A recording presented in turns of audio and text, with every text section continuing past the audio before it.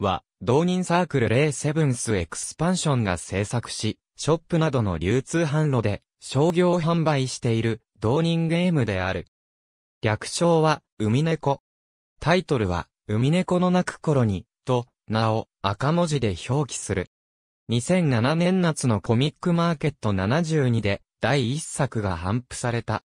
以降、半年ごとに発表されており、最終話が2010年12月31日に発売されて本編は完結した。本校では、これを元に展開されている漫画、アニメーション作品などについても述べる。レイセブンスエクスパンションの第一作目である、日暮らしの泣く頃に、の血脈を受け継ぎつつ、全く別の世界設定の作品になっている。ミステリー小説の名作、そして誰もいなくなったのストーリーを下敷きにしながら、嵐のことを、遺産をめぐる争い、洋館、連続殺人、予告状、肖像画の碑文、謎の怪人物、不可解な怪現象など、典型的なクローズドサークルものの、本格推理小説のオマージュが多数盛り込まれている。シナリオ及びキャラクターデザインを担当する、竜騎士07は、今作が公式に発表される以前から、日暮らしに続く次回作について、同じ舞台を何回も巻き戻して繰り返していく。それらを重ねてみることで一本のシナリオでは見えないものが見えてくるという多層世界ものとすることを早くから明言している。なお、今作では推理をしても解かせる気など全くない。それでも、魔女の仕業だと認めずに立ち向かう、あなたを屈服させるために用意したと、あらかじめ断りを入れており、難易度の上昇を図っていると述べている。また、本作では、自分の力で考えた読者のみが、真相にたどり着けるよう、簡単に人に説明ができるような明確な答えの出し方はしないとも述べている。実際、本編のラストであるエピソード8においても、作中における現実と創作の境界は非常に曖昧なままであり、何が真実で、どこまでが現実であるか、何が解くべき、解ける謎なのかは、読者の考察に委ねられている。これについて、竜騎士07は、自力で真相にたどり着いた人の名誉を守るため、としている。ただし、これらはあくまで作者である、竜騎士07の主張であり、公式の回が発表されないという作品の特色条件証は不可能であるということを踏まえておく必要がある。また口述のヘンペルのカラスの項にあるように、用語に関しては、原義から離れた使用法をされているものもある。2016年から2017年まで、マングゲーマーにより出題編、展開編、黄金無双曲クロスのスティーム版が配信された。文章は、原作準拠、新規立ちへと、英語モードが追加されている。本作を原作としたコミックス、小説、テレビアニメなどが展開されている。コミックス第1巻の発売と合わせ、公式サイトで本作の無料体験版が公開された。体験版は、日暮らしと同じように、第1話にあたる、エピソード1レジェンド・オブ・ザ・ゴールデン・ウィッチがすべて、収録されている。2008年から2015年まで、スクウェアエニックスの複数の月刊漫画雑誌に、本編と外伝のコミカライズが連載された。テレビアニメは2009年7月から12月まで、エピソード1からエピソード4までの物語が、全26話で放送された。講談社ボックスレーベルで、原作者による小説版が2009年から2018年まで刊行された。2010年12月16日には、今週末期のプレイステーション3に移植された、海猫の泣く頃に魔女と推理の臨舞曲が発売され、2011年12月15日には、同じく PS3 に、海猫の泣く頃に、3を移植した、海猫の泣く頃に、3真実と幻想の野草曲が発売された。2011年10月20日と2011年11月17日には、海猫の泣く頃に魔女と推理の臨舞曲を、プレイステーションポータブルに移植した、海猫の泣く頃に、ポータブルが発売された。2021年1月28日には、プレイステーション4ニンテンドースイッチにて、PS3 版2作品の8エピソードに加え、初今週魔化の翼、羽、先のシナリオを収録した、海猫の鳴く頃に先から猫箱と無双の公共曲が発売された。本作には対戦格闘ゲーム、黄金無双曲クロスをプレイできる DL コードが同梱される。発売当初は、新規シナリオをプレイするためには、スキップ機能を使うしかなかったが、バージョン1.02にてシナリオアンロック機能が追加された。制作スタッフの前作、日暮らしの泣く頃に、と同じく選択肢のないサウンドノベルであり、ゲームというより電子小説に近い形態となっている。選択肢ではなく、プレイヤー自身が謎解きに挑むというプレイスタイルが推奨されていることも、日暮らしと共通する。連作のシリーズであり、2010年12月時点で第8作まで発表されている。シリーズの各作のタイトルには、海猫の泣く頃に、エピソード1、レジェンド・オブ・ザ・ゴールデン・ウィッチというように、ナンバリングとサブタイトルが付けられている。また、シリーズを通じた物語は、前編と後編に分かれており、エピソード1からエピソード4までの4編が前編にあたる。エピソード5からは後編となり、タイトルは、海猫の泣く頃に、3となる。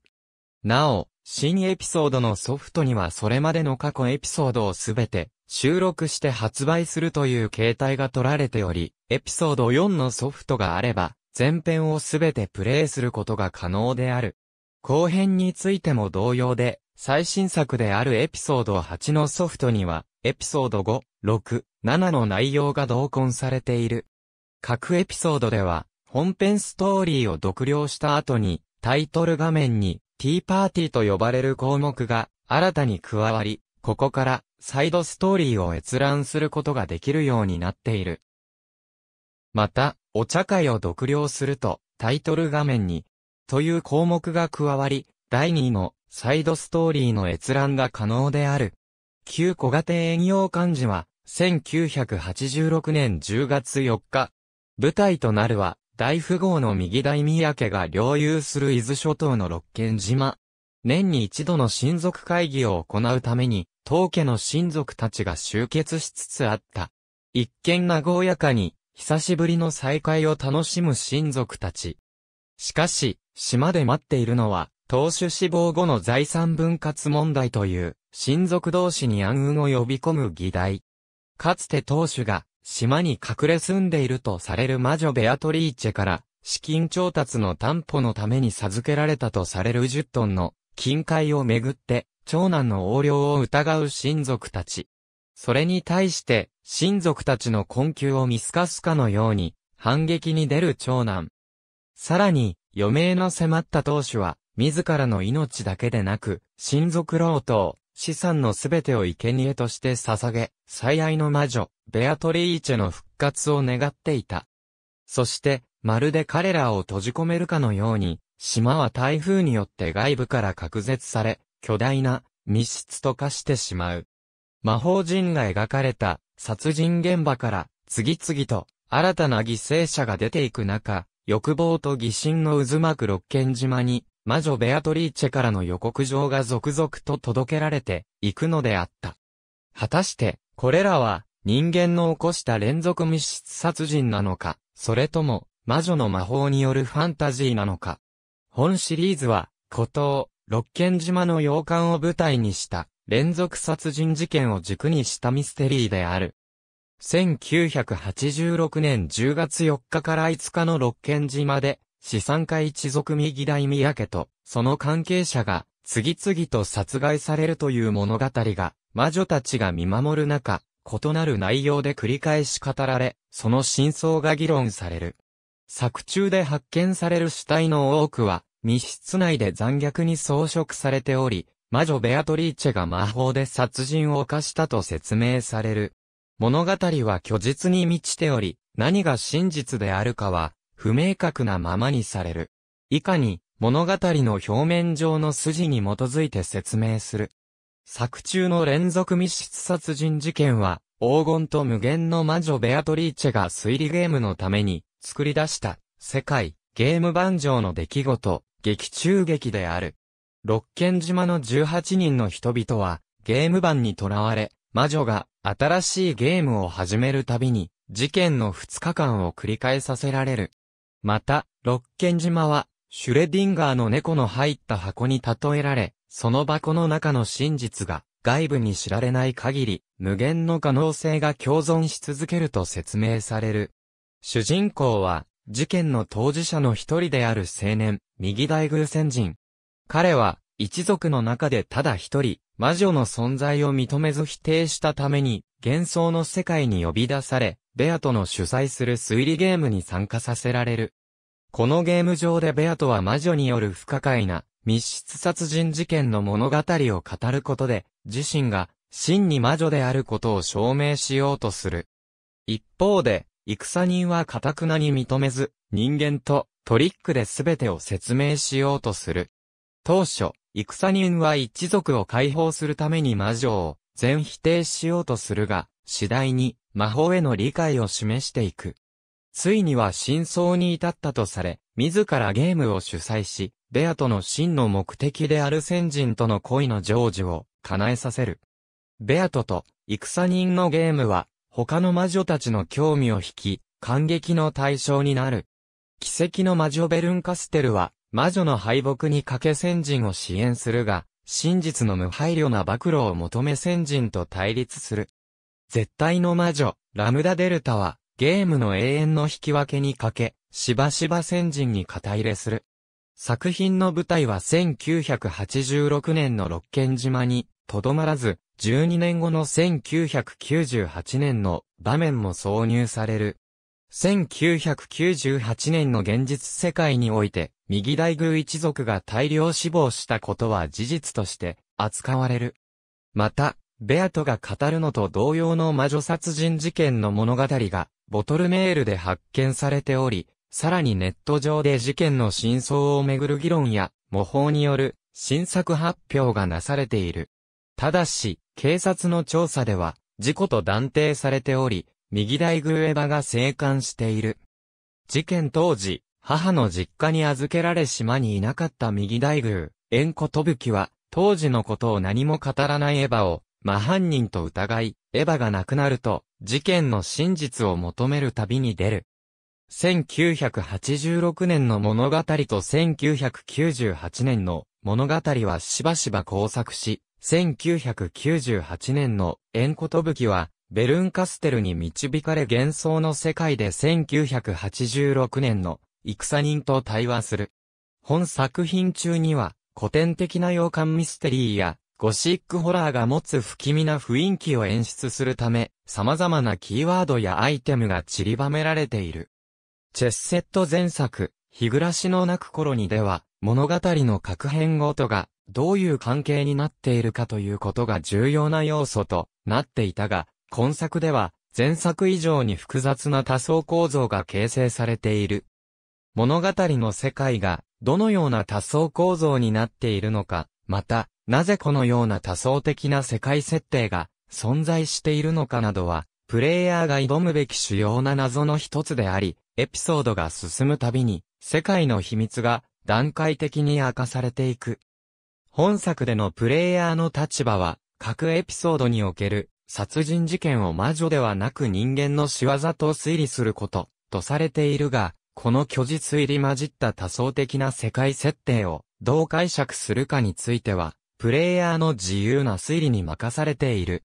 これら複雑な多層構造は本作における作風の特徴となっていると同時に、推理の難易度を大幅に上昇させる要因となっている。一方で、口述する赤文字システムや探偵権限など、謎解きの強力な手助けとなる要素も多数存在する。今作のメタ世界においては、推理は魔法と見まごうばかりの不可思議な力を持つ。推理によって現実が改変されたり、推理が文字通りの言葉の葉となって敵を傷つけることさえある。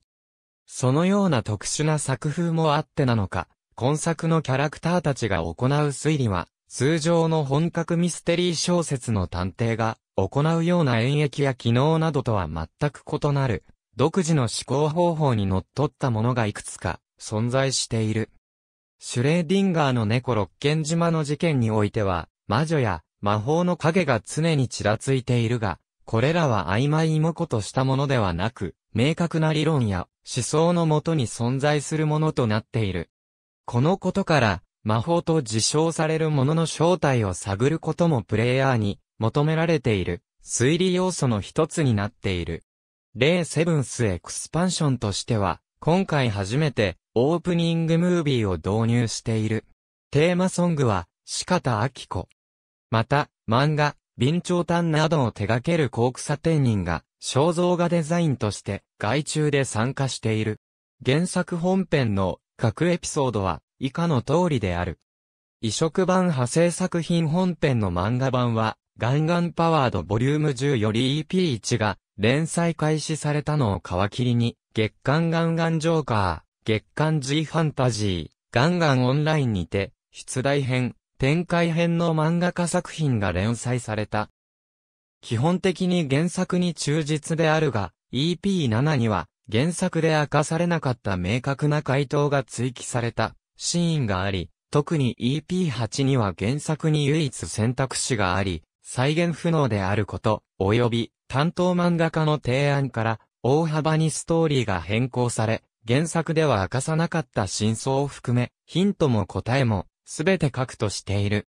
本編の漫画家作品4コマ、漫画コミックアンソロジークロスオーバー2009年7月から12月まで、テレビ、神奈川など、UHF 各局他にて放送され、2010年1月からは BS11 でも放送された。全26話。原作の音楽がアレンジされて使用されている。また、アニメ、日暮らしの泣く頃に、第2期のように、公式ホームページでの次回予告配信を行っている。放送局によっては、一部のセリフに自主規制音が入ったり、一部のシーンにモザイク処理がされている。各話のサブタイトルは、チェス用語から取られている。スタッフ音楽各話リスト放送局 DVD、ブルーレイ CD、TJCD。ありがとうございます。